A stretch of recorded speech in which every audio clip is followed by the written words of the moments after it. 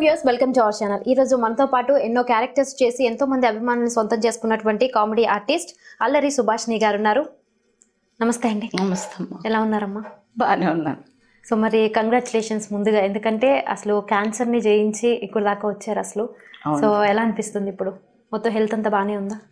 Cancer పూర్తిగా తగ్గిపోయిందమ్మా. ఇంకేం medicines ఏమీ లేదు డాక్టర్స్ తర్వాత ఇంకా కొంచెం వీక్ అయ్యాను కదా నరాల వీక్నెస్ ఈ మోకాళ్ళ నొప్పులు పెద్దవాళ్ళు అవుతున్నాం కదా. వచ్చినాయి. ఇప్పుడు నరాల వీక్నెస్కి టాబ్లెట్స్ ఏలూరు ఆశ్రమం హాస్పిటల్ అని ఉంది. అక్కడ తీగల రమేష్ గారు ఆయన డాక్టర్ ఆయన మంచి మెడిసిన్స్ ఇచ్చారు. ఇంకొక ఆరు నెలలు వాడమన్నారు. అక్కడికి వెళ్ళిన తర్వాత చాలా బాగా అయ్యింది ఇంకా నెమ్మది నెమ్మదిగా ఈ నొప్పులు అట్లే అన్నీ తగ్గుతాయి కదా. హెల్తీగానే ఉన్నాను ఆరోగ్యంగానే ఉన్నాను. ఓకే. సో మరి మీ అసలు స్వగ్రామం ఎక్కడండి? అసలు విద్య కానీ బాల్యం కానీ ఎక్కడ జరిగింది ఇదంతా? మాది భీమవరం పక్కనే రాయలం పల్లెటూరు మాది. మా రాయలంలో జన్మించాను నేను. ఓకే. సో ఏం చదువుకున్నారు? నేనేం చదివాను సిక్స్త్ క్లాస్ చదివా.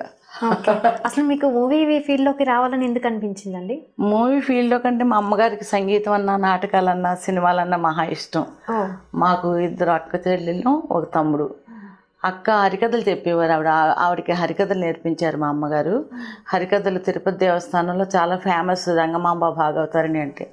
చాలా పెద్ద ఫేమస్ మంచి ఆవిడకి వీరగంధం సుబ్బారావు గారు గురువు గారు కొచ్చిల రామకృష్ణ గారు గురువు గారు మల్లేశ్వరరావు గారు గురువు గారు.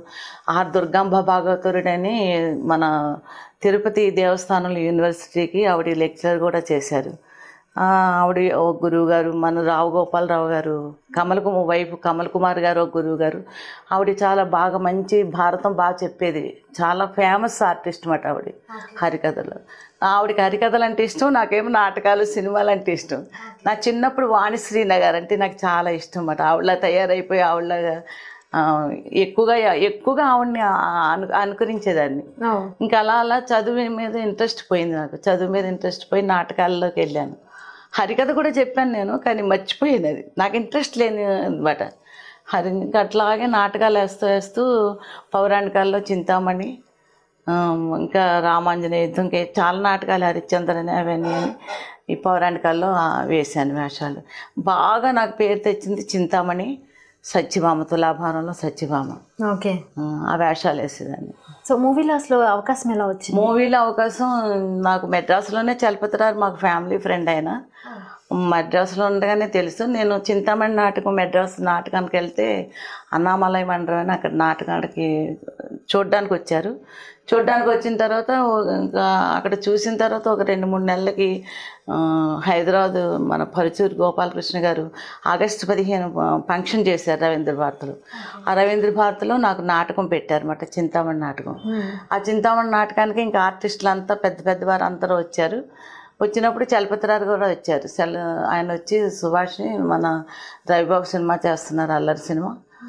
అలా అందులో వేషం ఉంది నీకు. ఒకవేళ ఆయన ఇస్తే బాబు ఇస్తే ఈ వేషం చెయ్యి. అంటే నల్లగా నీకులా నల్లగా లావుగా పెద్ద కళ్ళు ఉండాలి అని అంటే ఒకవేళ వేషం కుదిరితే వేసేయి. కుదరకపోతే నన్ను ఏమనొద్దని ఆయన చెప్తే ఇంకా ఆ రోజు వెళ్ళి రవి బాబుని కలిశాను. రవిబాబు గారిని కలవగానే ఇంకా ఆ రోజు వెళ్ళిన రోజే షూటింగ్ చేశారు. వెళ్ళిన రోజే. అట్లా వెళ్ళిన రోజే ఇంకా టెన్ డేస్ ఇక్కడే ఉండి షూటింగ్ చేసి ఇంకా తర్వాత ఇంకెక్కడెక్కడో షూటింగ్కి డేట్స్ ఇస్తే వెళ్ళాను అనమాట అల్లరి నాకు అల్లరి ఫస్ట్ పిక్చరు. నాకు సినిమా భిక్ష పెట్టింది చలపతిరారు అల్లరి రవి గారే. సో అయితే ఫస్ట్ మూవీ అయితే అల్లరి. సో ఇప్పటివరకు ఎన్ని మూవీస్ చేశారండి? చాలా చేశాను రా. డైరెక్టర్స్ అందరూ ఒక్కరు వెళ్ళి అడిగితే నేను వెళ్ళి షూటింగ్కి వెళ్ళి లొకేషన్కి వెళ్ళి అడిగితే అందరూ నాకు ఒక్క రోజైనా వేషం ఇస్తారు. తేజ గారి మీద దెబ్బలాడతాను నేను. వేషం లేకపోయినా నేనే మంత్రి నేను రాజులో కూడా వేషం చేశాను. ఆపరేషన్ అయిన క్యాన్సర్ ఆపరేషన్ అయిన మూడో నెలలో ఆ సినిమా చేశాను. లండన్ బాబులు మారుతి గారు కూడా ఒక సినిమా ఇచ్చారు లండన్ బాబు. ఇప్పుడు ప్రతిఘటన చేస్తున్నాను. దూరదర్శన్కి మన తండ్రి కోటేశ్వరరావు గారు సీరియల్ అభిమానం చేస్తున్నాను. ఓకే. సో ఇప్పుడు కూడా ఇంకా. సీరియల్స్ సినిమాలు కంటిన్యూ చేస్తూనే ఉన్నారు. సినిమాలు సీరియల్సే నాకు భిక్ష అన్నం పెట్టేది అదే నాకు. నా వృత్తే అది కదా. సో మరి ఏదైనా ఒక క్యారెక్టర్ సో ఇది కావాలి అని చెప్పి ఎప్పుడైనా అనిపించిందా? ఇలాంటిది అయితే చేస్తే బాగుండు అని? నాకు అలాంటిది ఏమి అనిపించేది కాదు. నాకు వేషం ఇస్తే చాలు ఏ వేషాన్నైనా చేయొచ్చు అనే ధైర్యం ఎక్కువ నాకు. కామెడీ చేయాలి విలన్ చేయాలి అవన్నీ ఉండేది కాదు. ఎవరే వేషం ఇచ్చినా నాకు కృష్ణవంశీ గారు కూడా నాకు మంచి వేషాలు ఇచ్చాడు ఆయన. శ్రీ ఆంజనేయం అన్నిట్లో ఆయన మంచి మంచి వేషాలు ఇచ్చారు. నాకు అలాంటి వేషాలు కూడా చేసేదాన్ని. నాకు ఈ వేషం నేను చేయలేనని ఆర్టిస్ట్ని కదా. ఆర్టిస్ట్ ఏ వేషమైనా చేయాలి సో మరి అంటే కొంతమందికి ఏంటంటే ఈరోజు ఇచ్చారనుకోండి వేషం సో రేపు షూట్ స్టార్ట్ అయింది అనుకోండి అప్పటికప్పుడు కూడా చేంజ్ అయిపోతూ ఉంటుంది సో అప్పుడు కూడా వద్దు అని అంటుంటారు కదా అలాంటి సిచ్యువేషన్ ఎప్పుడైనా? లేదమ్మా నాకు అసలు అలాంటి అలాంటి. ఇండస్ట్రీలో అసలు చాలా నాకు తక్కువ టైంలో ఎక్కువ ఫలితం పొందాను నేనే. సో బాగా ఇష్టమైనటువంటి డైరెక్టర్ ఎవరు? మీరు చేసినటువంటి వాళ్ళందరిలో? అందరూ ఆ- ఆ ఇష్టం ఆ డైరెక్టర్ ఇష్టం ఈ డైరెక్టర్ ఇష్టం అని ఏం కాదు. అందరూ ఇష్టమే డైరెక్టర్స్ లేకపోతే సినిమా ఇది డైరెక్టర్ అంటే సినిమాకి తల్లి తండ్రి. డైరెక్టర్ అనే ఆయన లేకపోతే సినిమా లేదు. ఆయన మీదే కదా మనం నడవాలి. అలాగే ఇంట్లో అమ్మ నాన్న ఎలాగో డైరెక్టర్ కూడా తల్లి తండ్రి. సో అయితే మీకు హెల్త్ బాగున్నప్పుడు ఎవరైనా ప్రముఖుల దగ్గర నుంచి ఏమన్నా సహాయం ఏమైనా అందిందా? నేను యూట్యూబ్లో పెట్టాను. నేను పెట్టనన్నాను. నాకు అలా అడగటం ఇష్టం లేదు. నేను మామూలుగా వెళ్ళి డైరెక్ట్గా నాకు ఆరోగ్యం బాగాలేదంటే ఎవరైనా హెల్ప్ చేస్తారు. నేను ఫైనాన్షియల్గా ఏం చేశానంటే మేము ఒక చీట్స్ కంపెనీ పెట్టాం. అందులో డబ్బు పోయింది మాకు బాగా బాగా పోయింది తిరుపతిలో. సిస్టర్ నేను కలిపి చేసాము ఫైనాన్స్ చేసాం అందులో చాలా డబ్బు పోయింది. అప్పటి నుంచి ఇబ్బందులు పడుతున్నాను. ఆ ఫైనాన్స్ చేసేటప్పుడే నా హస్బెండ్ చనిపోయారు. తర్వాత అక్క కూడా ఆవిడ కూడా చనిపోయారు యాక్సిడెంట్లో. ఇంకా అప్పుడు ఇంకా బాగా ఇదైపోయింది అనమాట అక్క బాగా హెల్ప్ చేసేవారు నాకు. ఆవిడ మా అమ్మగారి తర్వాత అమ్మ మా మా అక్క నాకు. ఇదంతా ఎప్పుడు జరిగిందండి? ఒక ఏడెనిమిది సంవత్సరాలు అయిపోయింది టెన్ ఇయర్స్ అయిపోతుంది. టెన్ ఇయర్స్ తర్వాత నాకు ఇవన్నీ అయిపోయిన తర్వాత నేను సినిమా ఫీల్డ్కి వచ్చాను. అప్పుడు చలపతిరావు నాకు దేవుడిలాగా వేషం ఇప్పించి అందరిలో మంచి ఫ్యాషన్ చేయించారు. అట్లా అట్లాగే ఇంకా చాలా ఇండస్ట్రీలో ఇంకా నేను నిలబెట్టేసుకున్నాను. ఈవి గారు అందరూ రామానాయుడు గారు రామానాయుడు గారు అందరూ నాకు మంచి హెల్ప్ చేసేవారు వెళ్ళి అడిగితే. నాకు వేషం ఇచ్చేవారు నాకు రామానాయుడు గారు డబ్బులు కూడా ఇచ్చేవారు నాకు. వచ్చేస్తా అంటే నేను నా దగ్గర డబ్బులు లేవంటే ఆయన డబ్బులు ఇచ్చేవారు నాకు. చాలా చనువుగా ఉండేదాన్ని ఆయనతో రామానాయుడు గారితో చలపతిరారు అందరూ నాకు.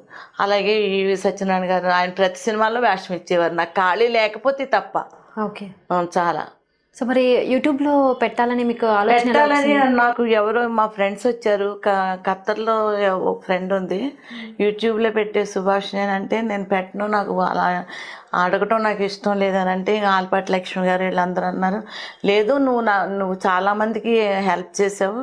వాళ్ళు నిన్ను ఎవరు ఆదుకుంటలేదు కాబట్టి ఇది చూసిన చూసైనా వాళ్ళకి బుద్ధి వస్తుంది. నువ్వు హెల్ప్ నీ దగ్గర తిన్న వాళ్ళకి బుద్ధి వస్తుంది. ఈ రోజు నీకు అనారోగ్యం వచ్చిందని తప్పించుకుని వెళ్ళిపోయిన వాళ్ళకి బుద్ధి వస్తుంది అంటే యూట్యూబ్లో మా పాప కూడా వద్దంది. కానీ అయినా అలా పెట్టేశాను. నాకు మంచి ఫ్రెండ్స్ ఉన్నారు ఆస్మా రమణి అని మంచి ఫ్రెండ్స్ ఉన్నారు. వాళ్ళిద్దరు నా ఆరోగ్యం పట్ల నాకు క్యాన్సర్ అని బయట పెట్టించింది వాళ్ళే. డాక్టర్ దగ్గర తీసుకెళ్ళి చాలా మంచి హెల్ప్ చేశారు వాళ్ళిద్దరు. వాళ్ళు ఏం చెప్పారంటే యూట్యూబ్లో పెట్టాక పెడితే ఫోన్లే నువ్వేం సహాయం అడుగుతున్నా కానీ దొంగతనం ఏం చేయట్లేదు కదా అంటే యూట్యూబ్లో పెట్టగానే మా ఫస్ట్ ఫస్ట్ చూసింది నాగబాబు గారు. ఆయన చాలా వివాదం లేని మనిషి ఆయన. చాలా జాలిగుండే బాగా బాగా బాగా జాలిగుండేది ఫోన్ చేశారు పన్నెండు గంటలకు ఫోన్ చేశాను నేను యూట్యూబ్ చూశాను. అసలు ఎలా ఉండేదాన్ని ఎలా అయిపోయావు సుభాషిణి గారు? అని ఆయన వెంట వెంటనే ఇంటి మార్నింగ్ వెంటనే త్రీ డేస్కి నాకు యాభై వేలు ఇచ్చి పంపించారు. ఇంటికి పంపించారు. తర్వాత ఇంకా రజిత. మా లేడీ ఆర్టిస్టులో రజిత అసలు ఎవ్వరికి ఆ అమ్మాయి ఎవరికి చేయాలని కాదు చేసే వాళ్ళకి చేస్తుంది బయటపడదు తను బాగా. అసలు చాలా గుణంగా ఉంటుంది అమ్మాయి గుణవంతురాలు. ఆ అమ్మాయి పూనుకుని అందరు మా కామెడీ ఆర్టిస్టులు అందరి దగ్గర బ్రహ్మానందం గారి దగ్గర వెన్నెల కిషోర్ గారి దగ్గర ఇంకా అందరి దగ్గర అందరి దగ్గర సన్ సన అరే సురేఖ వాణి హేమ అందరూ పూనుకుని ఈ అందరూ తనే పూనుకుంది రజితే పూనుకుంది. పూనుకుని ఒక లక్ష రూపాయలు పోగు చేసి తను ఇంటి ఇంటికి వచ్చింది మాట ఇంటికి వచ్చి నాకు ఇచ్చి ఎన్న హెల్ప్ కావాలంటే నాకు ఫోన్ చేస్తూ ఉండండి అమ్మా పర్వాలేదని. నాకు రజిత ఫస్ట్ తర్వాత నాగబాబు గారి తర్వాత రజిత తర్వాత మా అసోసియేషన్ మాకు ఇవన్నీ శివాజీ రాజా గారికి నేను చెప్పలేదు. తర్వాత ఆయనే ఫోన్ చేశారు. నాకు చెప్పాలి కదా ఆరోగ్యం బాగోలేదని సుభాషిణి అని ఆయన కూడా లక్ష రూపాయలు పోగు చేసి ఆయన కొండేటి సురేష్ గారు కొండేటి సురేష్ గారు నాకు మంచి హెల్ప్ మా సంతోషం ఫంక్షన్లోనూ హెల్ప్ చేశారు. విడిగా కూడా అసోసియేషన్కి పంపించేశారు ఆయన. చాలా హెల్ప్. ఇప్పటికి కూడా కొండేటి సురేష్ గారికి ఫోన్ చేస్తూ ఉంటాను. అన్న అవసరం వచ్చినా చేసిన. చిరంజీవి గారు మా- చిరంజీవి గారు అయితే ఫోన్ చేసి ఆయన ఆ రోజు అమెరికా వెళ్తున్నారు ఆయన. నేను నేను తీసుకొస్తానమ్మా నేను మీరు ఇలా ఈరోజు నాకు ప్రయాణం ఉందంటే బాబు మీరు వస్తే మేము జనాన్ని ఆపలేము. ఎక్కడ ఆపుతాం? నేనన్నా వస్తాను లేకపోతే ఎవరితోన్నా ఏమంటే పా పాప ఉంది కదా పాప చిన్న పాపతో ఇంటికి ఇచ్చి పంపించారు. ఓకే సో అయితే ప్రముఖుల దగ్గర నుంచి బాగానే దగ్గర. నుంచి చాలా హెల్ప్. నాకు ఫస్ట్ ఫస్ట్ నేను ప్రాణదాత ఎవరంటే కేసీఆర్ గారు. ఓ. నాకు క్యాన్సర్ వచ్చిందని తెలియగానే మా ఫ్రెండ్ వాళ్ళు ఏం చేశారంటే డాక్టర్ని అడిగారు. ఈ సనా అనే అమ్మాయి డాక్టర్ని అడిగారు. ఎంత అవుతుందంటే ఒక ఐదారు లక్షలు చేతిలో పెట్టుకోమానండి. క్యాన్సర్ కదా అవసరం వస్తుంది అని అంటే నేను నాకు ఉన్నది ఒకటే భీమవరంలో ఇల్లు. అది కూడా లోన్లో ఉంది ఆ ఇల్లు. లోన్ పెట్టి ఇల్లు కట్టుకున్నాను నేను లోన్లో ఉంది.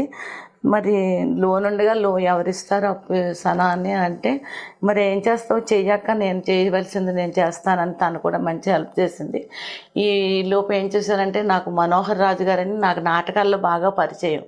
ఆయన్ని బావా బావా అంటాను. ఆయన ఏం చే ఇలాగ నాకు ఆరోగ్యం బాగాలేదండి బావగారు అంటే ఆరోగ్యం బాగోకపోతే నేను ఎంఎంజేకి తీసుకెళ్తాను. అందులో రమేష్ గారని ఎక్స్రే తీస్తారు ఆయన. ఆయన ఆయన క్యాన్సర్ ఎక్స్రేలు తీస్తారు ఆయన దగ్గర తీసుకెళ్తాను. ఆయన హాస్పిటల్లో నీకు హెల్ప్ చేస్తారంటే వచ్చి ఆయన దగ్గర తీసుకెళ్తే వీళ్ళు ఆయన ఏం చేస్తారంటే మేము డాక్టర్స్ దగ్గర తీసుకెళ్ళారు డాక్టర్స్ వెళ్ళిన రోజే నన్ను జాయిన్ చేసేసుకున్నారు. ఆ హాస్పిటల్లో క్యాన్సర్ డాక్టర్స్ అందరూ చాలా తల్లి తండ్రితో అంటే అంతకంటే ఎక్కువగా చూశారు నన్ను. వెళ్ళిన రోజే నేను హాస్పిటల్లో జాయిన్ అయిపోయాను. మూడో రోజు టెస్ట్లు అయ్యి నాలుగో రోజు వచ్చేసి వచ్చిన తర్వాత క్యాన్సర్ అని తేలిపోయింది అయితే డాక్టర్స్ ఏం చేశారంటే మరి డబ్బులు మీరు పెట్టుకుంటారమ్మా అంటే నేను డబ్బులు పెట్టుకోలేని స్టేజ్లో ఉన్నాను సార్ అన్నాను.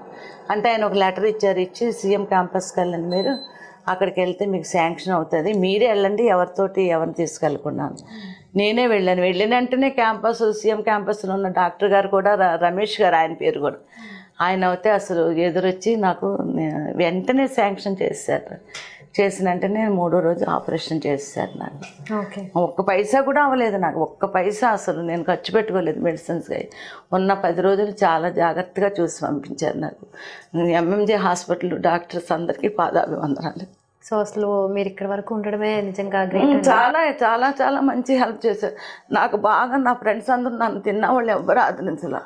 సో ఎవరెవరండి? అంటే ఇండస్ట్రీ వాళ్ళు ఇండస్ట్రీ వాళ్ళు కాదు బయట ఫ్రెండ్స్ ఉంటారు కదరా. సుభాష్ని సుభాష్ని ఇంట్లో ఒకరు అందరూ నన్ను ఆదరించి నేను ఆదరించిన వాళ్ళు ఎవరు నన్ను ఆదరించలేదు అదే.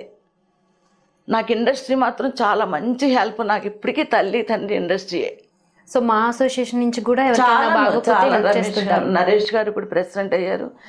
శివాజీ రాజా గారు కూడా చాలా మంది దగ్గర పో ఆయన మా అసోసియేషన్కి తెలియకుండా కూడా ఆయన ఫ్రెండ్స్ దగ్గర నుంచి తీసుకుని పంపించారు నాకు. సో అయితే శివాజీ రాజా గారు కూడా మా అసోసియేషన్ తరపున బాగా ఆయన హెల్ప్ చేస్తుంటారు ఆయన అందరికీ. ప్రెసిడెంట్గా ఉండగా మంచి హెల్ప్ జరిగింది.